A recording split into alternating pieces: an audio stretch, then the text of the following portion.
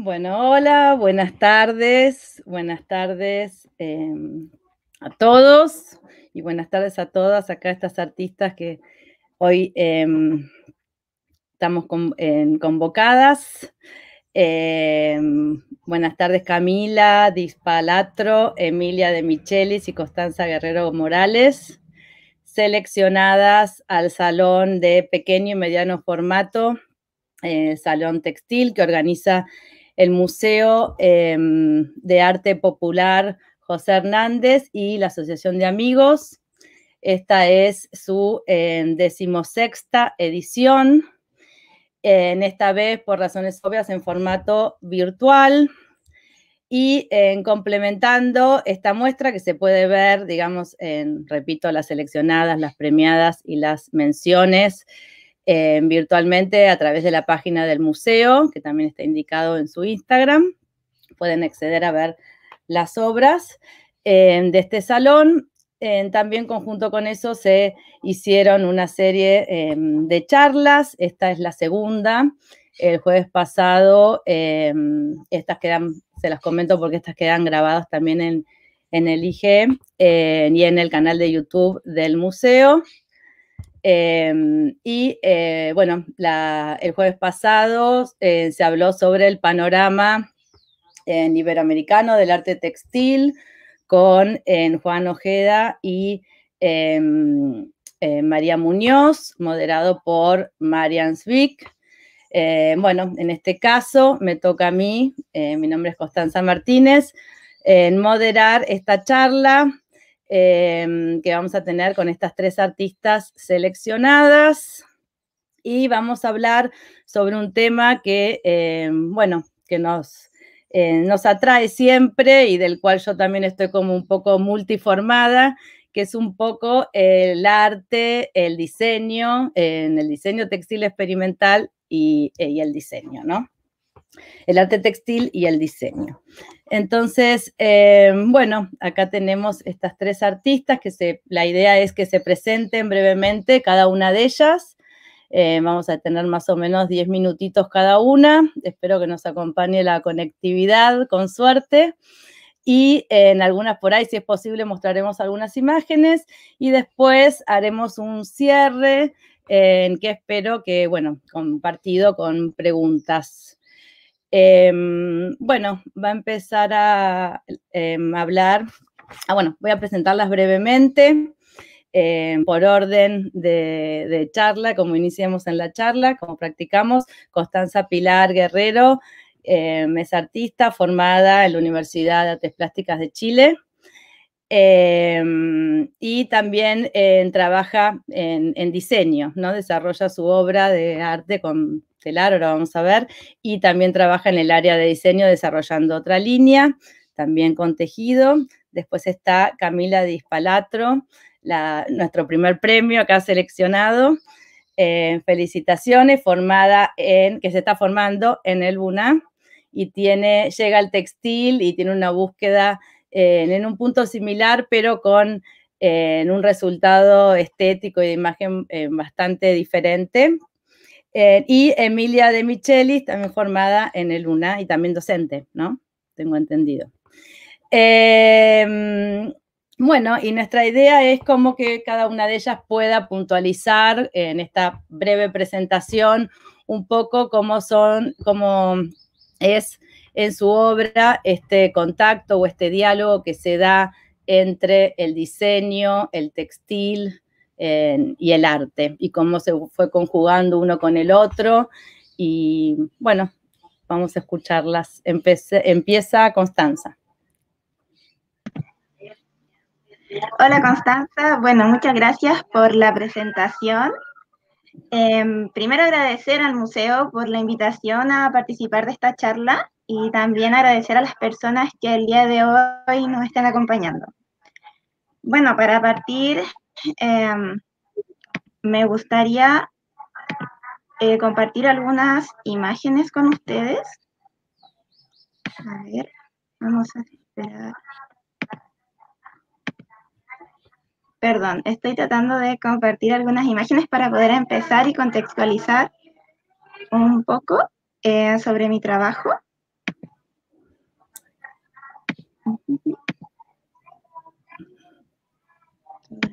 Ay,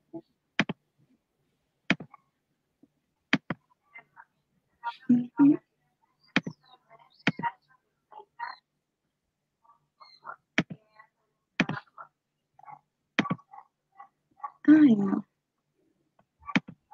Ya, disculpen la, la torpeza un poco en el manejo de los nervios del vivo.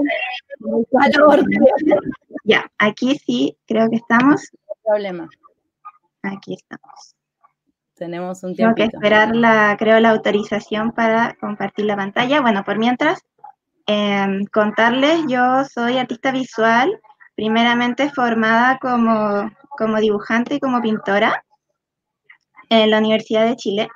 Y em, eh, inicio mi, mi, trabajo como tapicera el año 2018, donde conozco la técnica de la, de la tapicería y eh, me enamoro completamente de su potencial para eh, poder generar imágenes de una resolución prácticamente fotográfica, pero tejidas. Bueno, eh, aquí tenemos algunos ejemplos de, de lo que yo hacía previamente como dibujante. Son bocetos de mi cotidianidad, de mi entorno cercano, eh, la mayoría de ellos croquis muy rápidos que yo vi trabajando en cuadernos. Entonces, esto es para contextualizar un poco de dónde viene mi trabajo posterior en el textil. Cuando yo conozco la técnica de la tapicería, me hace esta conexión como súper clara, porque el textil para mí tiene algo que es muy cotidiano, que incluso viene de una herencia familiar, em, que aprendo de mi abuela, de mi madre, y que em, me hace sentido con respecto a lo que yo estoy dibujando, que son las cosas que componen mi día a día. La gente de mi casa, mis objetos, la gente en la calle, lo que yo observo. Aquí tengo ejemplos de lo último que he desarrollado, eh, que es en relación al tema de la maternidad y de la crianza. Bueno, entonces eh, les traigo una primera obra en la que fue mi primer proyecto de tapicería, en la que yo todavía no tenía el conocimiento para hacer una reproducción de, imagen, em, pero sí tenía la intención de generar unas ilustraciones en relación a mi cotidianidad. Y se me sugiere hacerlo por medio de la técnica que acá llamamos embarrilados. Entonces hago estos primeros bocetos de ilustraciones muy sencillas, simplificando para adaptar a la técnica del embarrilado. Y aquí voy jugando y experimentando un poco en lo que me puede dar esta técnica en su simpleza para generar las imágenes que yo pretendo tejer. Y trabajando el tema que ya venía describiendo antes sobre la conexión que yo establezco entre el tejido y lo cotidiano. Acá tengo un registro del proceso donde hago las pruebas y los experimentos previos al momento de, ejecutar la obra como tal. Y voy viendo qué posibilidades me da esta técnica, cómo ir eh, manejando las fibras de distintas formas para ir elaborando el dibujo. Y aquí el detalle donde pueden ver un poco más de el volumen que toma eh, el emberrilado desde cerca y al apreciar más de cerca los tejidos cobra más, más importancia lo que es la materialidad textil y desde lejos eh, la figura, ¿no? La imagen representada. Aquí un segundo ejemplo de una traducción de una pintura a la tapicería, en una tapicería ya eh, más tradicional, eh, donde yo ya tenía el conocimiento para reproducir eh, una imagen. Y aquí pueden ver como la simplificación del diseño de la, de la imagen. Em, la primera imagen a la izquierda, arriba, es el boceto, la pintura original, que voy trabajando, reencuadrando y sintetizando eh, hasta obtener un estilo más gráfico, que es algo que constantemente eh, he ido desarrollando a lo largo de las obras. Siempre buscando la simplificación de los colores eh, y la simplificación de las formas. Entonces, en este trabajo la experimentación se da más al nivel de, como del diseño preliminar y em, para finalmente hacer, ejecutar una tapicería más tradicional. Aquí pueden ver para las personas que no están acostumbradas a cómo se realiza este tipo de trabajo, un registro del proceso en el que estoy, em, está a medio hacer el tejido y se va viendo cómo las distintas em, zonas delimitadas antes de color se van rellenando con los hilos de trama. El resultado del, detalle de cómo queda finalmente este, este tejido. Y bueno, el, aquí tenemos la obra que estoy actualmente presentando en la exposición virtual del Museo de Arte Popular José Hernández, que es una obra que trata de un momento muy personal eh, y difícil que atravesé hace poco tiempo. Fue durante la cuarentena cuando mi pareja se enferma de coronavirus y nosotros teníamos una hija muy pequeña en ese momento de unos seis meses. Y em, bueno, eh, tengo que hacerme cargo de ella porque él está eh, enfermo y aislado, por lo tanto no puede tener contacto con nosotras.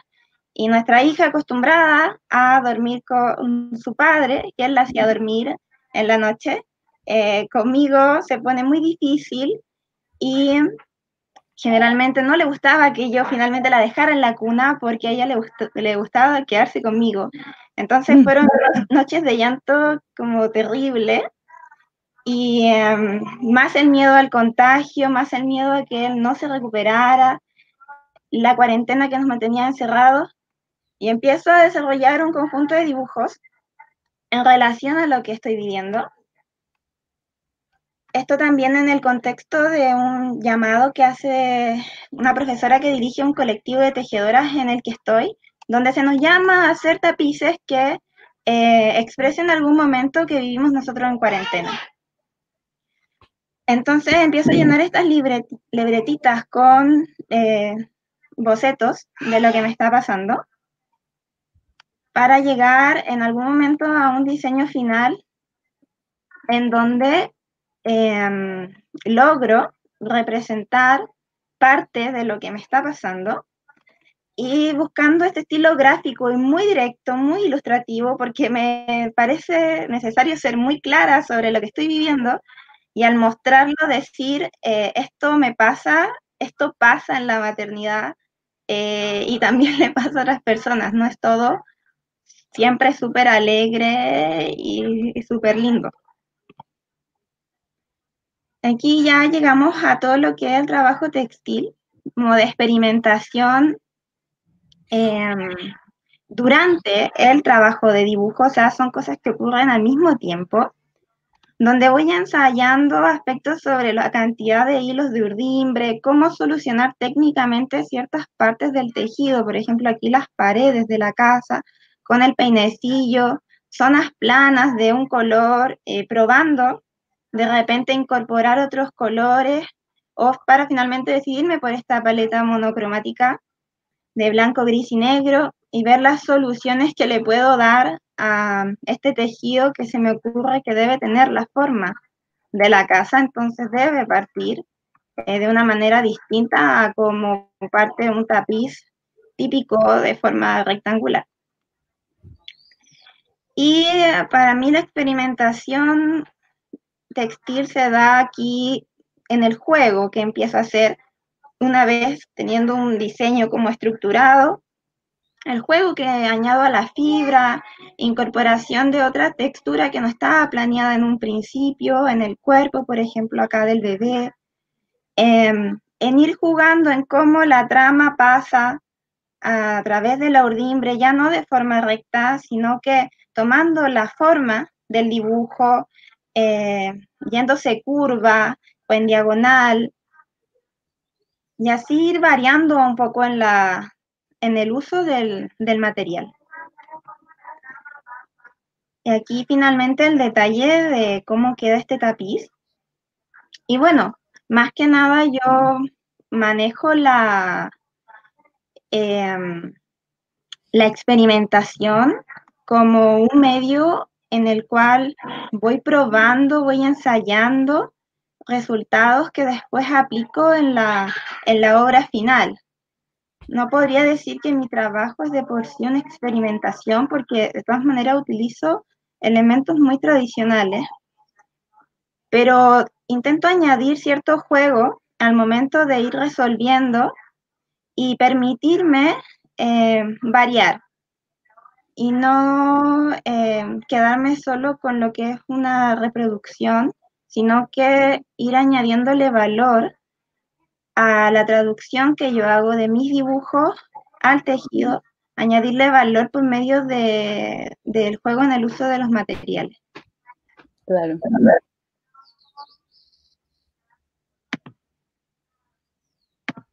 Bueno, eso es lo que quería compartir con ustedes. Muy interesante. breve, una descripción breve, porque es difícil resumir todo. Em,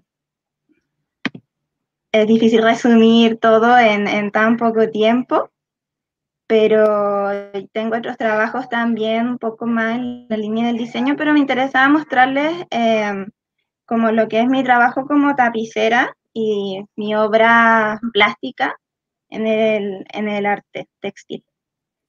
Y cómo se conjugan esos tiempos, me parece interesante también, cómo vas del boceto, de la pintura, del tiempo del boceto rápido al tiempo también del, de la tapicería, que es un tiempo mucho más lento, ¿no? Que también por eso requiere de toda esa proyección también y de toda esa, como dijiste, traducciones de, de un tiempo a otro, de una imagen a otra técnica y soporte. Sí, son tiempos muy distintos, como tú dices, del, del boceto que puede ser hecho de dos segundos y la tapicería que requiere toda una planificación y una ejecución que es muy lenta y minuciosa. Entonces, para mí eso también significa el darle valor a lo que yo hice primero, que es muy rápido y fugaz, y como transformarlo en algo lento y meditado, siento que, le da otro sentido. Una manipulación del tiempo. Reservar ese tiempo tan exacto que pudiste em, congelar en ese boceto. Muy bien.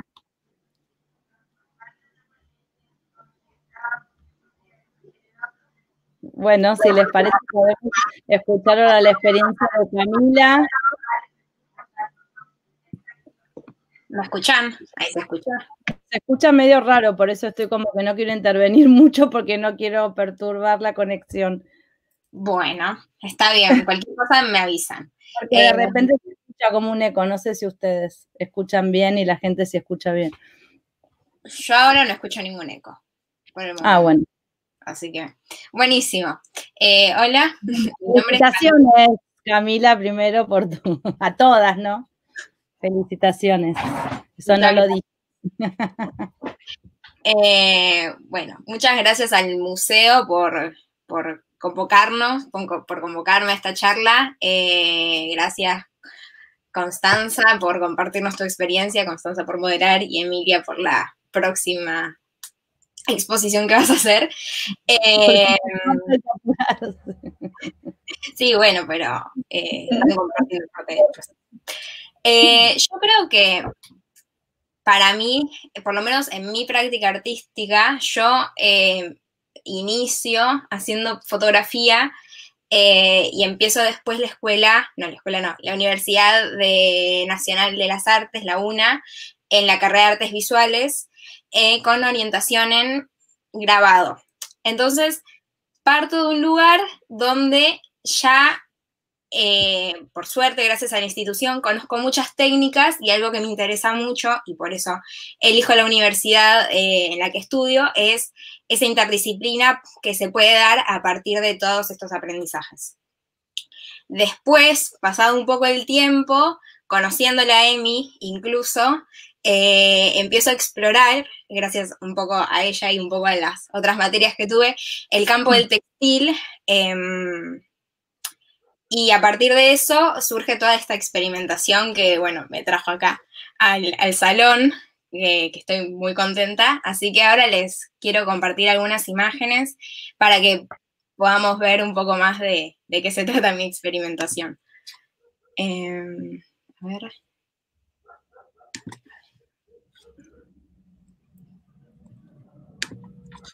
Estoy. Ahí va. Ahí se ve. Se ve. Imagino que sí. Bueno, esta es la, obra con la que quedé seleccionada y premiada en el MAP. Es una. Es, una Me encantó el título. Me parece genial el título. Perdón. Mm. Em, se, titula Todo lo que cae en un bolsillo. Es una billetera em, intervenida, una billetera heredada, era de mi abuelo, el papá de mi mamá. Todas las fotos y, eh, e infografía que hay es referida a su persona. Todas estas imágenes son parte de su vida, son momentos que quedaron retratados y yo los transfiero a la tela como eh, la técnica lo indica con el transfer, eh, en un intento, como les decía, de, de, poder combinar todas estas técnicas y a partir de ahí surge esta experimentación. Primero encuentro un objeto o me dan un objeto familiar del cual empiezan a surgir sensaciones, ideas, conceptos y luego, después de empezar a capaz revolver o buscar en ciertos archivos, por lo general familiares, eh, termino eh, eligiendo estas fotos, esta ficha de identificación, termino encontrando el documento de identidad de mi abuelo, donde está la huella digital de él, y mm, a partir de la fotografía y el grabado, aún hago por lo menos o intento hacer este cruce de técnicas sobre la materia que es el textil. Eh, básicamente es eso. Un poco también me, siento que me dio mucha libertad hacer esto, el hecho de también de tener la, máquina de mi abuela, entonces varias, eh, digamos, cosas que se fueron dando en el proceso, también fueron gracias a poder experimentar con la máquina de mi abuela, muchas puntadas, que fue la esposa de, mi abuelo. Eh, que muchas, muchas de estas puntadas, de estos procesos de, de buscar la foto y poder, poderla poner en cierta posición o fijarla de alguna manera, se dio también eh, por la libertad de jugar con una máquina de coser, que es algo que empecé a hacer eh, durante la cuarentena. Otra, otra obra que, tengo, que está, eh, ya tiene un año y un año más o menos y un poquito más, es una en agua. Por ahora la titulo en agua, eh, algún día capaz que tiene otro título, no lo sé. Em, eso era una enagua de mi abuela, hecha por ella, y de nuevo se ve esta cuestión que lo experimental, sin conocimiento específico de una técnica, eh, lo abordo de, de la manera que me lo pide el objeto o el material que estoy manipulando en este momento. No, no, no es que primero tengo una técnica que quiero usar y a partir de eso desarrollo eh, una ficción o un concepto o una idea, sino que agarro, voy primero más por lo afectivo y hago ese recorrido. Eh, esta en agua está toda intervenida con fragmentos de cartas, mayoritariamente cartas que le escribía a mi abuela, a mi mamá, y tiene alguna que otra intervención como esta, que es de una carta que mi, que mi abuela me escribía a mí. Así que es eso. Y esta última pieza, que es eh, con, las que, con la que estoy trabajando eh, ahora, últimamente, es sobre, bueno, sobre todo el tema de, los fármacos, de la medicina, de, la ingesta de estos medicamentos, de cómo como sociedad vemos eh, los beneficios o estos nuevos paradigmas a partir de la medicina de las soluciones médicas y de los fármacos. Y acá también, de nuevo, primero fue encontrarme con esta cajita, con esta, sí, con esta latita antigua de comprimidos que estaba ahí guardada, no sé si era de mi familia o no, eso no lo sé. Y a partir de eso, eh, de, este eh, objeto, empezar a trabajar, bueno, con, esto de, de, los comprimidos, de los medicamentos, y abordarlo de nuevo de manera textil, buscando también esta cuestión material que de algo tan cálido capaz y algo tan, tan reconfortante como puede ser el textil, eh, utilizado de tal manera en, y, digamos, imitando un, objeto o un producto que no necesariamente cuenta con estas mismas características que el textil. E, en esta, en esta obra creo que se ve ese contraste, mientras que en las dos anteriores creo que el textil va más de la mano con, bueno, todo el tema de lo, de lo afectivo, de, de lo familiar, de la herencia, que son temáticas, creo yo, que, van muy de la mano con el abordaje del arte textil. Así que mi, experimentación, por lo menos, creo que se basa en esto de, ver lo que el material y por ahora los objetos me proponen, de no, mm, al no saber específicamente una técnica, creo que adapto cada, cada técnica o cada situación a, lo que más me conviene y me doy también el, lugar para poder jugar con el material, probar qué es lo que funciona mejor o con lo que yo me quedo más convencida y para mí por lo menos funciona mejor. Capaz que dentro de 10 años pienso que otra cosa puede llegar a funcionar mejor, pero por el momento eh, voy por ese camino. tiempo de experimentar un montón. No, me, me, encantó esta obra, me, hizo acordar mucho que cuando uno va a la casa de los abuelos, viste, que encuentra la típica lata de galletitas y abre y es un costurero y nunca lo que está en la lata es lo que uno se imagina. Y era lo que pasaba en casa. ¿Eh? Era lo que pasaba en casa, era el costurero de mi abuela uno de los tantos costureros era la lata de galletitas, esas las, de manteca. Que te morís, todos tienen eso de costurero y todas quieren siempre decir, no, ¿cuándo, va a estar la galletita otra vez? Sí, exactamente. Bueno, me encantó. O sea, como que para vos el textil tiene más que ver con, con este vehículo de ideas o de, de conceptos que querés ir transmitiendo sí. sí, sí, también la posibilidad de que el textil se, es, o sea, se puede expandir en mucho, o sea, claramente lo podemos ver por la obra de Constanza, probablemente con la obra de Emilia también, que es, tan amplio el textil, ¿no? No, no es solamente, por suerte, la trama y el urdimbre así a rajatabla. Y eso me, parece muy valioso el textil, la variedad que hay dentro del campo. Así que eso.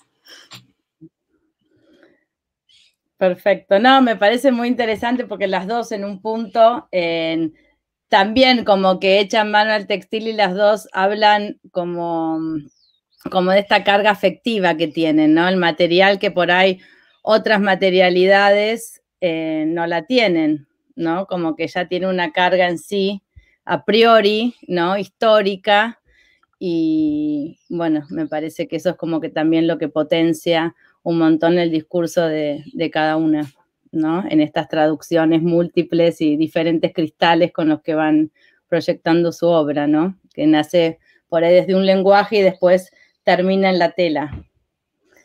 Y bueno, de repente como que se corta, no sé. Las veo congeladas. ¿Todo bien? Yo te veo perfecto, Constanza. Bueno, acá se ve perfecto también. Bueno, genial. Estamos re bien con el tiempo. Vamos, si les parece, escuchar la experiencia de, Emilia, de Michelis, que, bueno, doble satisfacción porque está seleccionada y tenés tu alumna premiada, o sea que doble satisfacción, me imagino. Sí, bueno, hola a todas. Eh, primero, bueno, pido así disculpas, va a entrar un poquito de ruido de fondo, voy a tratar de que entre lo menos posible, no sé qué está pasando ahí. Eh, estoy en un lugar donde, bueno, con la tormenta se cortó bastante la conexión a internet, así que, bueno, estaba como complejo. Hace dos días temblamos, casi no la tenemos. Eh, así que, bueno, también quería agradecer a la Asociación de Amigos y al museo por invitarnos a participar de este conversatorio. La verdad que siempre es una alegría ser invitado, está buenísimo.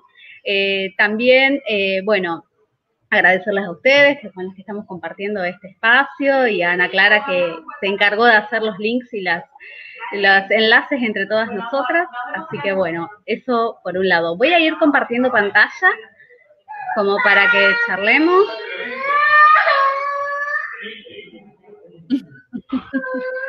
Ruidito de fondo.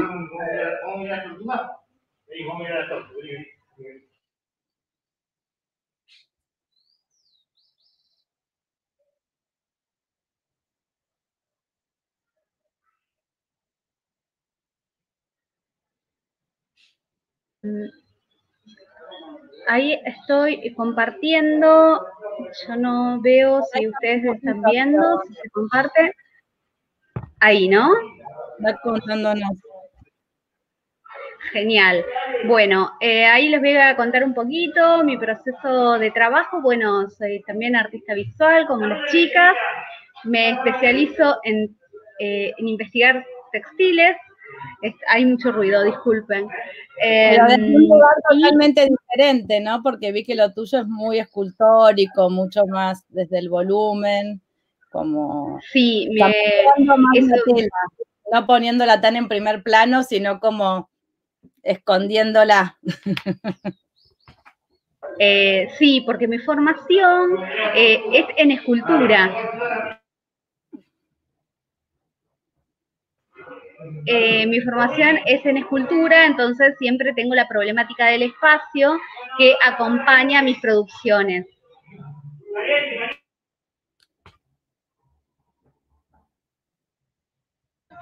Em, bueno, les contaba esto de que, eh, bueno, la problemática espacial es como un tema que me atraviesa todo el tiempo eh, acá en pantalla lo que sí se puede ver en este momento es em, esta eh, idea que estoy trabajando en este momento, que es eh, lo inacible del paisaje que va quedando en la memoria.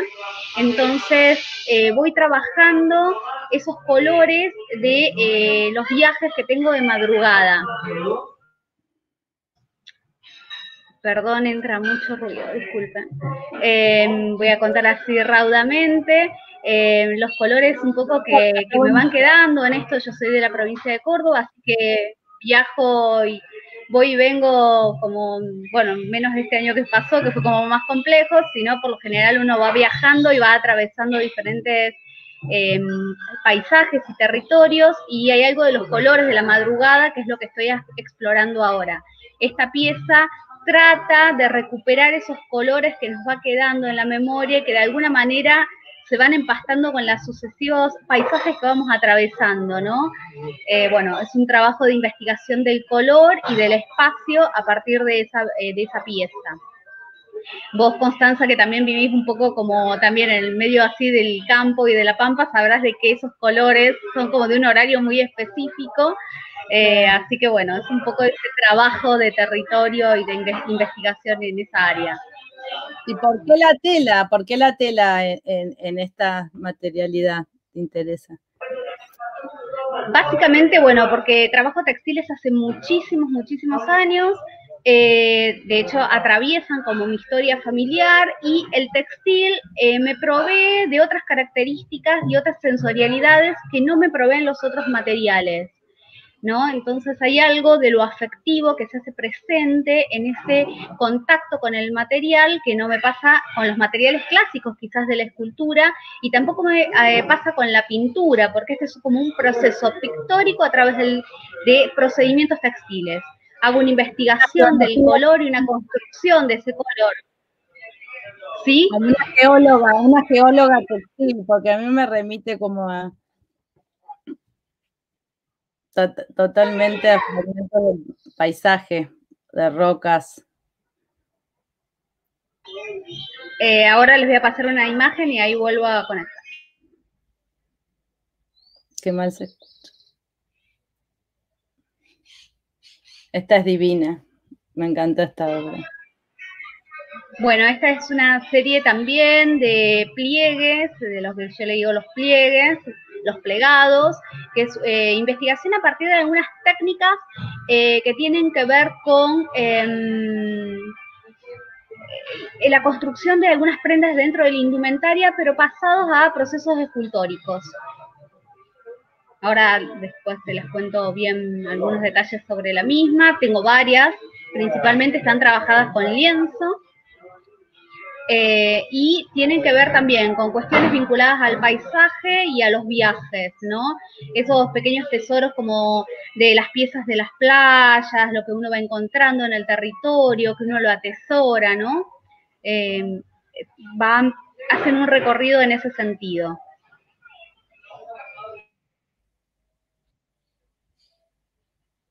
Acá como que tenés una referencia más clara al diseño y a la tela, ¿no? Pero en la anterior no tanto. Esta es divina también. Estás muteada. Estás con el sin audio. Eso, sí. Eh, voy cerrando a medida que regulo los sonidos que entran. Eh, sí, esta es una instalación que realicé en un espacio que quiero mucho, que se llama Puesto 86, en el mercado eh, de San Juan. Es un puesto de arte tiene ya, cumplió los 10 años. Y em, bueno, también tiene que ver con esa, eh, esta naturaleza sobredimensionada que eh, cuando uno es pequeño la ve por encima de uno, ¿no? Como que uno se mete en el monte, en la selva y cambia la escala de eso que uno percibe, ¿no? Esta es para interactuar, uno la puede atravesar, eh, va a sentir el roce de esa naturaleza que, nos invade y que nos acompaña. Y sí, ahí exploro eh, el espacio. Por eso digo, bueno, eh, como bien vos decías, busco investigar otras espacialidades en las piezas como un, un resabio de ese trabajo escultórico que realicé durante mucho tiempo y bueno, siempre hay algo de lo pictórico eh, que se cruza en esa investigación del color, ¿no? Lo que va sucediendo eh, en esas eh, cuestiones. Es interesante pues el volumen en el textil, pero no ligado tanto al cuerpo, sino más al, paisaje y a esta idea tuya de registro.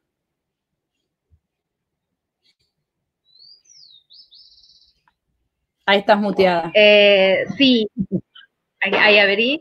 Eh, sí, ahí dejé de, decía que dejaba de compartir. Sí, bueno, hay algo ahí que tiene que ver sí con el registro del cuerpo, porque siempre la escultura aborda el espacio y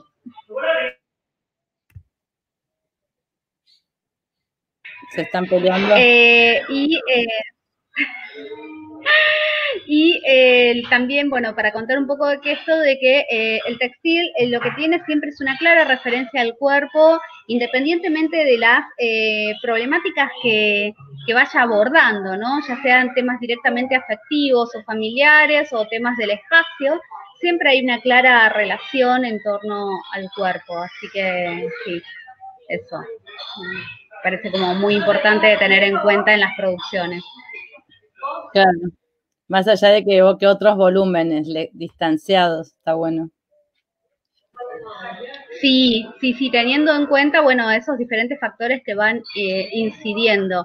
También hay algo que creo que incide mucho en mi producción, que son las prácticas comunitarias y los trabajos eh, colectivos, que eso implica en el espacio y el territorio todo el tiempo. Y tienen que ver con esta práctica individual, o sea, voy y vengo entre esos dos campos, lo individual y lo colectivo, de manera constante. Uno y otro se retroalimentan todo el tiempo.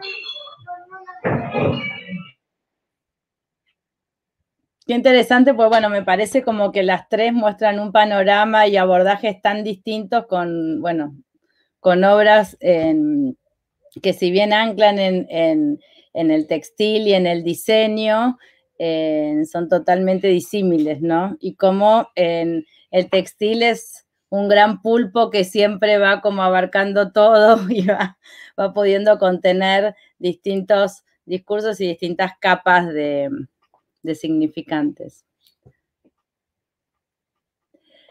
No sé si alguien quiere, alguna de ustedes quiere agregar algo un poco accidentado, pero no sé si escuchan y quieren agregar algo o si alguien del público quiere preguntar algo, ya estamos medio como sobre la hora de ir cortando. Sí, yo quería mandar un pequeño saludito que ahí Berta saludó, que va a estar en una de las charlas, que bueno, ¿no? El espacio del Centro Argentino de Arte Textil, que siempre acompaña todos estos proyectos, eh, está buenísimo tenerlo acá presente. Eh, bueno, ¿no? Como un gran actor dentro del territorio eh, que nos compete, ¿no? Es el lugar que abre el campo de trabajo hace tantos años. Así que gracias a Berta y a todas las que están por ahí, que ya mandaron saludos, que nos están acompañando.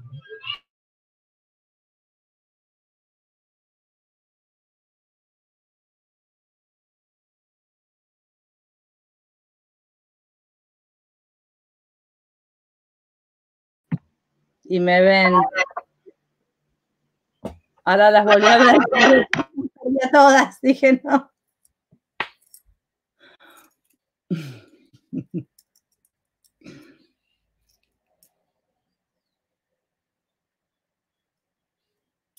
Bueno.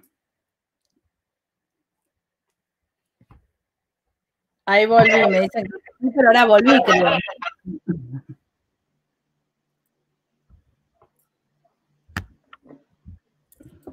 Bueno, yo voy a aprovechar entonces este último momento para también agradecer a las personas que, que nos estuvieron viendo y bueno, felicitar a Camila y a Emilia por su presentación. Me pareció súper interesante eh, poder revisar sus trabajos, además de que lo enfocan desde una manera tan distinta a la que abordo yo, el, el tema textil.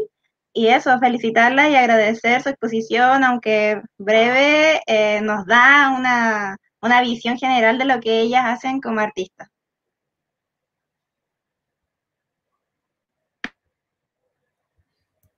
Y bueno, ya que estamos acá, nada, gracias a, ustedes por, el espacio, por compartir también, como bien dijo Constanza, y qué lindo que, este arte y que esta técnica y que esta materialidad nos convoque eh, en tiempos tan, donde estamos tan distanciados físicamente, nos podemos encontrar en la virtualidad, por lo menos, hablando de cosas tan hermosas y tan lindas que nos hacen sentir tan bien, por lo menos.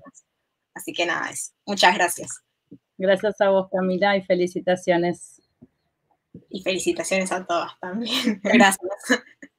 Bueno, gracias a todas. Emilia creo que ya se despidió, ¿no? O justo cuando me fui, no sé. Em, bueno, muchísimas gracias a todos los que nos están escuchando. Muchísimas gracias a al Museo José Hernández, al Museo Arte Popular José Hernández, a la Asociación de Amigos. Celebro que se haya, que, se siga realizando este salón que ya tiene, em, es su em, vez número 16, o sea que me parece todo un logro en poder llevar adelante este proyecto durante tanto tiempo. Em, Muchísimas gracias, Ana Clara, por todo lo que nos ayudaste. Gracias, Horacio Torres. Felicitas, Luna, del museo también, por convocarnos y por convocarme a hacer mi primer charla moderada. Y bueno, no se pierdan em, la de Berta Teglio, que viene la semana que viene, que va a estar buenísima porque es una charla diferente, donde va a haber también una presentación de ella. Y y es muy interesante también la charla del jueves pasado en que moderó Marianne Zwick sobre el panorama del arte iberoamericano de textil, que está dentro del marco de este salón también. Así que, bueno, eh, gracias a todas otra vez y espero que podamos seguir encontrándonos de la manera que sea y pensando y repensando el textil que me parece que hay mucho por hacer todavía, me parece que justamente, como dijo Camila en estos momentos, em, es, es una de las materialidades que más nos ayuda a conectarnos con, nosotros mismos, eh, con este aquí y ahora, y, bueno, y hacernos cargo de nuestro tiempo y ocuparlo, eh, no solo virtualmente, sino analógicamente, que creo que eso es lo bueno también del textil que nos vuelve a la tierra, ¿no? A conectarnos. Por eso creo que todas también hablaron de lo afectivo y de las raíces y bueno, me parece que esa, ese, el textil es el vehículo perfecto para, para todas esas en temas. Em, bueno, Em, los dejo, no sé cómo me voy, leave de estudio, calculo que será apretar acá. y bueno, muchísimas gracias a todas, a todos. Hasta luego.